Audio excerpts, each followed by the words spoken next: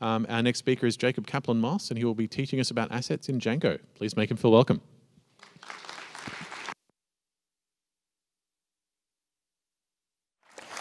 Howdy, folks.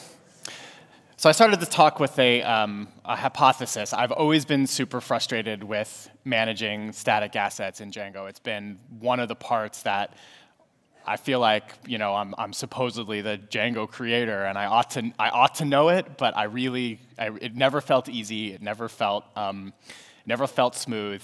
And I, so I had this idea. Okay, I'm going to propose a talk for PyCon, and if it's if it's accepted, I will be forced to figure it out. I'll get to write. It's called conference-driven development, everyone. Um, I'll be forced to figure it out. I'll be I'll be I'll, I'll able to finally come up with a good answer, and it will no longer be hard again. I am sorry to report that my hypothesis was incorrect. Um, and the title is somewhat misleading. It is, in fact, not possible to handle assets in Django entirely smoothly and entirely easily. Um, and that's because while the simple things are simple and easy, the hard things are actually hard, um, unfortunately. So the title is a bit of a uh, it's a bit of a bait and switch, but hopefully by the end of this talk, you'll at least have a fairly good framework to move forward and, and handle things with a little less head scratching and some good ideas for, um, for, for best practices around this area. Um, before we dive in, I want to share a couple of term terms and terminology just to make sure we're all on the same page about them. So when I say assets, I'm talking about the, the non-code parts of your app. Uh, sorry, the non-Python code parts of your app. I'm talking about CSS, JavaScript, images like logos or, or icons, you know, anything that you're using that's part of your app that isn't sort of interpreted, it isn't part of your Python code. Now, Django uses the term static for these things, and that's, that's a historical wart. Like there wasn't, an, there wasn't a best practice name for this stuff back 15 years ago when we were inventing some of this. So um, you'll see most of the places around Django, you'll see the term static. Um, uh, I will try to use the word assets throughout this talk because I think it's clearer, um, but you will still see in a lot of the settings and a lot of the Django documentation the term static, and these are the same things. Django also uses this term media, which specifically refers to stuff that is sort of dynamic and uploaded. Um, and so these are things that users will upload. Uh, these could be admin users uploaded through the admin interface, or these, these could be end users of the site. But the point is, it's not part of your code base. It's not checked in. It's not distributed. It's not part of your app. It's something dynamic and, and uploaded. Images, PDF files, whatever all else you're letting your folk, your, your users upload. And Django uses the term media for all of that stuff. So I'm going to cover four scenarios. The first scenario is the sort of simplest version. You, have got some JavaScript or CSS, uh, and you're fine with that living on the file system. This actually covers probably 80% of the use cases, and the good news is this is very simple. Um, if there's a theme of this talk, it's don't overthink it, and this is the don't overthink it model. Like, you just need to write some JavaScript. JavaScript's really good now. You probably don't need a JavaScript precompiler unless you're doing pretty advanced stuff. Likewise, CSS is really good now. You probably don't need any sort of fancy CSS stuff until you do. the, second, the second version is the, uh, the second scenario is the cloud storage scenario. So at a certain point, um, having your assets being shipped along with your code starts to fall apart. Um, this is sort of large scale in terms of traffic, but also large scale in terms of development team, large scale in terms of a lot of assets to be compiled and, and shifted around. So at a certain point, you probably want to start storing your stuff on a cloud storage service like S3 or the, the Google equivalent, et cetera.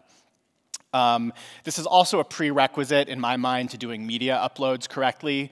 Um, in most deployment scenarios, uploading having media uploads go to the actual web servers is a bad practice for a variety of reasons, um, from scalability to security to um, sort of just best practice development. So when you come to media uploads, you kind of need to have the cloud stuff worked out. And the good news is those things work well together. And finally, the last, the last sort of more, most complicated scenario is you want to do fancy stuff. You want to use JSX. You want to use ESNext. You want to use PostCSS. You want to, you know, you're building a big React app. Like you've got all the sort of heavy front-end tooling, and you want that to work well with your, with your Django app. So the simple scenario. So you, most of the time, for this is where you should start. And everything in this scenario kind of gets built on in the, in the later ones, so there's no downside to kind of starting, starting here. I always try to get away with this for as long as I can and only start to get more complex when I need, when I need to get more complex. Um, this, will, this will scale for most like, I don't know, like medium-ish you know, web, apps actually like fairly well. I would say 80% of what I develop is suited just fine with this, um, with this scenario. Um, this doesn't support any sort of fancy compilations. If you want to use PostCSS or, le or less or Sass, you're out of luck here. Um, and it's relatively slow and inefficient, um, as we'll see in a bit. Um, so you're going to want to use white noise. Um, white noise is a static uh, file server that lets you use Django to actually serve these static files. Back in the day, this was discouraged. Um, we used to encourage that people use a external third-party um, a web server to serve static assets, something like Nginx. That's no, no longer the case. Uh, white noise is really quite good. It integrates super well with Django, and it means that you can just have one server out of the box that serves both your dynamic stuff and your, and your static stuff. Um, as a bonus, white noise sets all the correct headers on your, on your assets so that if you uh, use a CDN like Cloudflare, it kind of just works. Like you just point Cloudflare at your Django site and you've got caching of all your static stuff. Like no, no configuration needed. It's real nice. So here's what setting up uh, this stuff looks like. There's really two key settings to pay attention to when you're thinking about static files, when you think about assets, excuse me. Um, there's the static files DIRS setting, which tells Django where your source files live, where the static files that you're writing live, and then there's the static root setting that tells Django where all of the static all of the static files from those directories are going to be served by your, by your web server. And so when you run the collect static management command, uh, what's going to happen is Django is going to look at everything in those static file directories, uh, suck it all out, and drop it into that the directory pointed at by static root. And then you would then point your web server at that static root set, uh, directory. Now, white noise does this automatically, so you don't need that extra step. But if you wanted to use something like Nginx to serve your assets, you could just point it at that, at that directory. And the reason you need this level of indirection, by the way, is assets can be collected not just from the directories specified in that static, static files dir setting, but also from installed apps. So that's how, for example, the CSS and JavaScript associated with the admin get collected and put into that same directory so that when your admin is served, it, it, has, it has styles. If you've ever deployed a Django site, uh, turned debug off and suddenly discovered your admin doesn't have any styles, that's what's happening here. You haven't properly configured static files, and so the admin doesn't know where to find its CSS, and so you don't get styling in your admin. The last bit of this uh, uh, scenario is making sure that you're correctly referencing those files in your templates when you need to include a script or a CSS file. It's tempting just to use a, a, a statically uh, encoded path to them, but that's the wrong approach. That doesn't take into account future stuff you might do, like cloud storage. So there's a static tag that lets you um, that lets you point to a particular file. And what that actually does is it expands your static root setting um, and, and the name of the file to correctly provide a link to that. And again, if you're using white noise, if you do this one with the green check mark, everything just kind of works. So in this scenario, your best practices are to use white noise, pay attention to your static file directories and your static root. Um, I would just, like, these are my common ones. I put, I put my static files in a directory called assets, and I have static root called static root so that I know exactly what it is. Um, reference your files with the static tag, and just run collect static at deploy time. Don't try to be fancy about when you run collect static. Uh, just run it every time you do a deploy, like as a, as a post-deploy step. If you're using Heroku or another, uh, another cloud library that uses the same build packs, collect static will be run automatically for you uh, for this reason. This isn't like the best practice in a global sense. Running, running uh, like asset compilation on your production servers is kind of a code smell, but for this sort of simple scenario, it's, it's fine and don't overthink it. Okay, so at a certain point, you instead of just having stuff on your file system, you, you want to put them in, a, in, a cl in cloud storage. This might be you've got a bunch of images, and so blowing out your file system on all your app servers is a problem. This might be because you've got a bunch of different developers, and you're starting to separate front end and back end development, and so the process of deploying assets is a little bit complicated. Um, you might have high traffic, so you want to you want the sort of efficiency and and um, uh, lower cost of something like S3. There's a bunch of reasons why you might want this. Um, you also might want to be doing this as a prerequisite for allowing um, users to upload media. At this point, um, uh, dev, dev prod parity, having, having equivalency between your local development environment and your deployment environment starts to be a concern, and I'm going to cover that in a minute, but keep, start thinking about it now. So the library you want to be looking at here is something called Django Storages. Django Storages provides built-in asset and media storage engines for basically everything. Um, it even supports FTP, um, which I don't know that anybody's using anymore. If it doesn't, there is, there is an API to write your own uh, that's part of Django, and it's actually not that complex. If you look at the Django Storage's source code, it's actually not particularly complicated. But um, most of the time, you can just install Django Storages plus whatever whatever other third-party prereq like Boto you need, and, and stuff will just work. You'll end up needing a bunch of settings. Um, this is my settings file.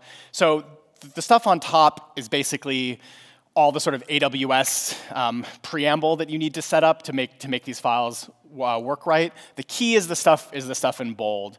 So there's a couple of, of good practices here that I'm showing off. The first is that the static file storage setting is the main, is the main setting that controls what Django's collect static command uses to actually store the files. And so here I'm switching away from the default and saying I want to store stuff on S3. The other thing that I'm doing is specific to the S3 backend, but I'm giving a prefix to everything that I upload. And that lets me that, that means when I run collect static on my laptop in debug, I upload my assets one place. So I can test that uploading step. I can make sure that AWS is working correctly and all my creds are good and I'm getting everything right. But it also won't stomp on my production files. There are a bunch of other ways you can do this, and once you start adding staging servers and review apps, this can get a little bit more complex.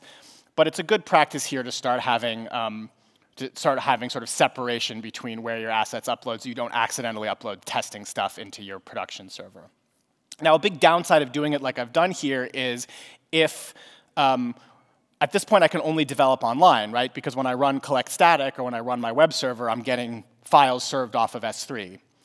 I think this is probably a good idea because you want your local development environment to be as close to your production environment as possible, but that may not work for everyone, and so if it doesn't work for you, you, you could add some additional conditional logic in your settings file to when, you when debug is on, fall back to the white noise local file system storage like I presented in the previous one.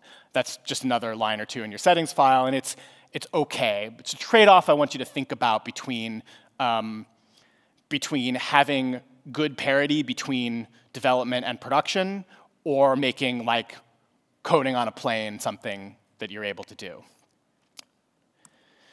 So what collect static actually does that I skipped over the first time I showed you this slide is it actually consults this static file storage setting to figure out what to do with your assets. So it still is going to look in those static file directories, but what actually is happening is it's saying, all right, storage engine, I found, I found app.js, what do you want to do with it?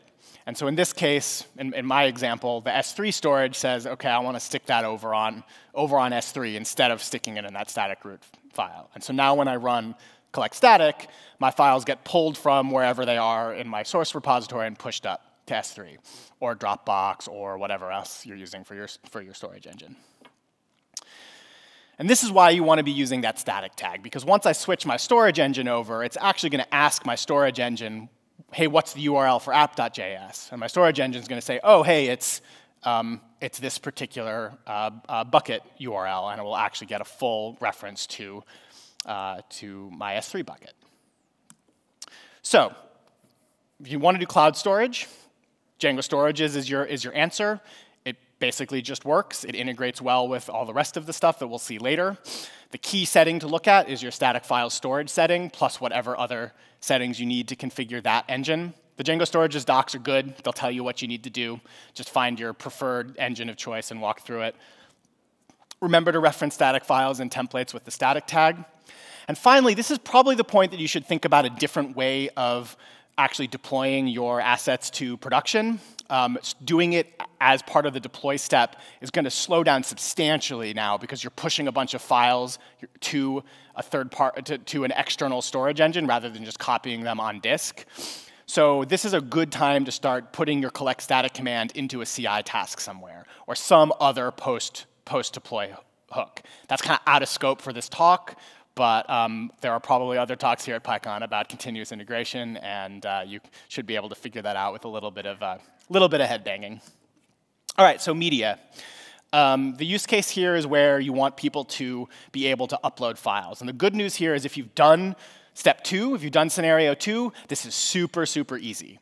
Um, you do, I do really want to encourage you to um, take the added time to get a cloud storage engine set up before you allow uh, file uploads. Um, that's for a couple reasons. One is, one is safety and security.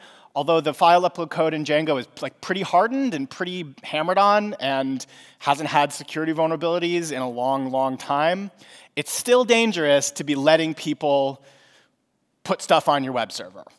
And those, that danger is not the same as letting people put stuff in an S3 bucket you've set up specifically for letting people put stuff there. It also performs significantly better.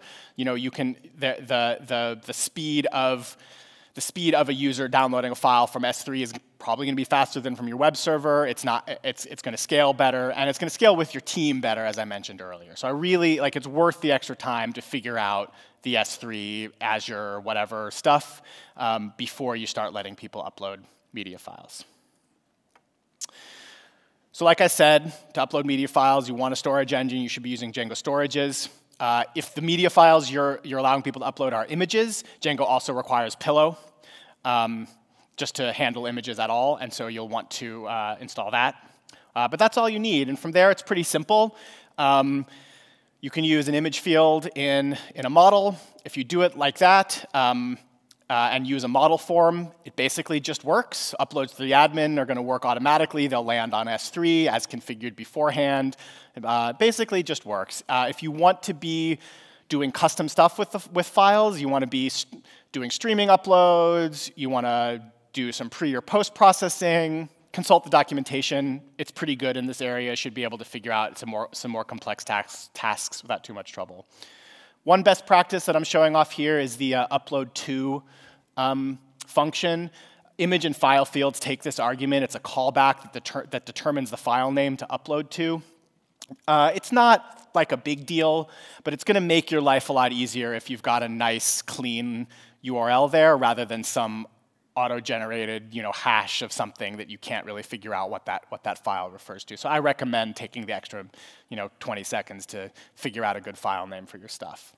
And from there, you just set your default file storage setting to whatever storage you want to use, Azure, S3, what have you, and uh, bam, you're done. Um, you can actually, uh, file fields and image fields take a storage argument too, so you could use different storages for different types of files. Like you could put images in one S3 bucket and video in another. Um, I've never actually run across a need for that, but maybe, maybe you will. For models, referencing stuff in templates is pretty simple. You just, you just get the whatever your image field or file field is named, and you have a .url, and that will automatically expand to get to the correct, um, correct URL for your thing. Now you have to start thinking about how you want to handle this in development. So you're running things locally, and you want to test it out, and you want to upload an image file from your local laptop. So you kind of have to, this is that, that same sort of dev prod parity question. You have two options. One is to use S3 just like production does and to use something like the AWS location setting to separate your development uploads from your production uploads. So this means that your sort of testing scenario is as close as possible to your production scenario, but again, you can't hack on, a, on an airplane. Is that something you need to be able to do? I, I don't know, it depends on your, your company and your organization. You can fall back to using file system media. There's a couple of settings to look up, media root and media URL, and you can serve them with a, with a built-in server designed for debugging. So this gets offline development at the cost of being different from production and potentially in introducing bugs. I can't tell you which is best for you. It's going to depend on your team. Um, there's some more documentation about how to use uploaded files in development at the link there. So to summarize, uh, use Django storage as in Pillow, use uh, set the default file storage setting, remember to define upload to, and think about local development options. All right, let's get to the good stuff, asset compilation. So this was the part that I was hoping would be really easy. It's not, sorry. Maybe if I was a better JavaScript developer, but I don't even, I've, I talked to a bunch of them and they don't even, they've told me not. So look, there's some really cool stuff in the in the front end world. Like I, I mean, I, I, I can joke about JavaScript, but the fact is, it's an incredibly exciting space right now. There's some really really cool stuff. If you haven't played around with TypeScript, you owe it to yourself to check it out. It's like MyPy, but way better. Sorry. Um, if you haven't played with ES Next, it makes Java. That's what will be the next version of JavaScript. It's very cool. It has list comprehensions. It has generators. It, it feels like it feels really familiar to Python, to Python users. It's like putting on, you know, jeans from a different brand. Like they fit real well, but they're a little, like some of them, some parts are a little different, but they're still real comfy. Um, Post CSS is super cool. I'm mildly obsessed with it. This is a cool area. And if you're using something like React, you kind of don't have a choice. You need to get into this, need to get in this area. The problem is it makes my head hurt. And like if you're like me, it, it might make your head hurt too. Okay, so the best asset manager right now is Webpack. I know there are a bunch of Python asset managers. There's Django Pipeline, there's Django Compressor, there's I don't know, I don't know what all else.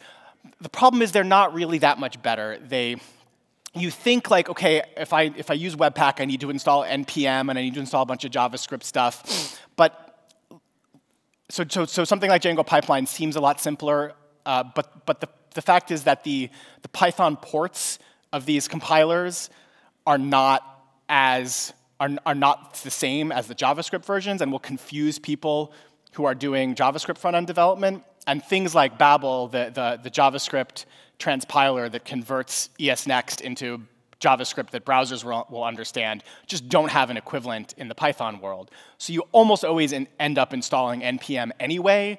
And now if you're, gonna, if you're gonna go to that step, you might as well use Webpack, which is just better. Now, every time I talk about front-end development, because I know hi people in the future, you're watching this video and it's three years from now, this is probably wrong. My guess is that within a year, Parcel is going to replace Webpack as the best practice. My guess is if I would, if I give this talk at PyCon 2020, I'm going to be talking about Parcel here. It's not there yet.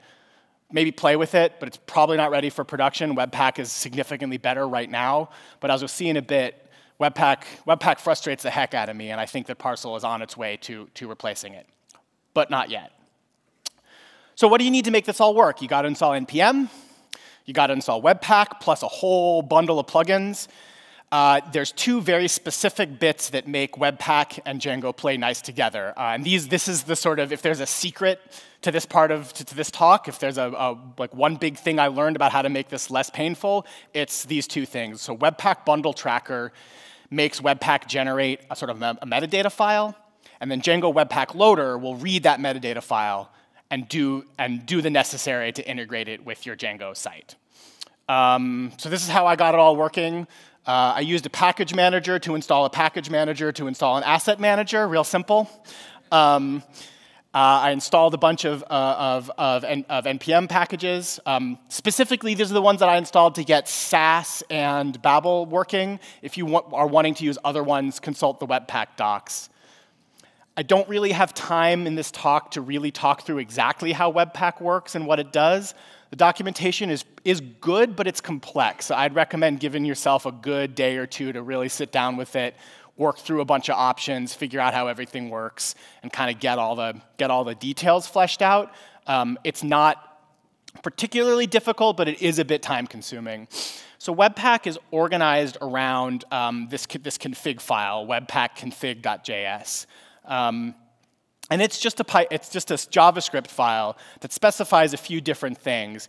It starts with an entry point, which is the, the beginning of your sort of asset compilation chain. The way that Webpack works is you say, hey, index.js is the start of my app, And then index.js will import a bunch of stuff. And it can import other JavaScript files, it can import CSS files, it can import Sass or PostCSS files. And Webpack will figure out, based on those imports, what sort of translation and compilation need to happen. And when it's all done, it drops that off in a bundle file. Uh, and one of the keys to work, doing this right with Django is making sure to include a hash in the, in the name of the bundle file. That way you get versioned assets, so it's easy to deploy a new version of your front end and then a new version of your back end without having to like synchronize that in, in, a, in a particularly tight way. You give, it some, you give it some rules which say, hey, JavaScript files I want to compile with, with, um, with Babel. And then you got to make sure to use this plugin. That's the little key bit that makes it spit out that, um, that statistics file. And so at that point, you add some stuff to your settings file, you install the Webpack Loader app, and you give it a little bit of configuration. You can consult the docs for, for details here, but these are the, this is the minimum, and this, this will be enough to get it working. And then you run two commands. First, you run Webpack, which follows that index.js and brings all your things and puts it in a bundle and then you run collect static. And that takes the bundle that's now been generated and, and pushes it to S3 or does whatever all else needs to happen with it. And that's the like cool little magic that Webpack Loader does is it makes sure that when you run collect static, collect static knows how to find your compiled bundles and shove them in the, in the right place. There's some other cool stuff in that library too, like support for live, live reloading and those sorts of things. You can take a look. Now in your templates, instead of using the static tag, there's a new one, render bundle, and you say, I want to render my, my main bundle. This is what would let you have multiple different types of, of bundles. Say if you have different parts of your app that need different, different prerequisites, different JavaScript files. So this is how this, this whole thing works, right? It's going to look at your index.js, it's going to compile everything using Webpack, spitting out that bundle, and then collect static will push it off to your, to your cloud server. Now, it's real tempting at this point to try to automate this more. Um, we're running two different commands. It feels a little manual, like, can't I just automat automatically reload stuff? I just want to edit my post CSS file and have my CSS be spit out and automatically uploaded to S3 and happen all automatically. You, that, you actually can do that. Th that will work. However, I started to go down, down that path and I very rapidly got very, very confused. I recommend actually leaving it pretty simple and doing it by hand, maybe using a CI server for this, because otherwise it can get real hairy real quick and you can end up with a lot of confusion about what's doing what and what's watching what and what's listening. Um, I didn't really understand what was happening here until I threw out all the fancy stuff and got super simple with it. So my recommendation would be to do the same. So, Webpack is the best practice here right now. Uh, I, I, think that may change in the future. I predict it will change in the future, but for right now, that's the one you should be using. Uh, there's really nothing that compares to it that's as flexible, that has as many options, or that will do all the things that you might possibly need to do.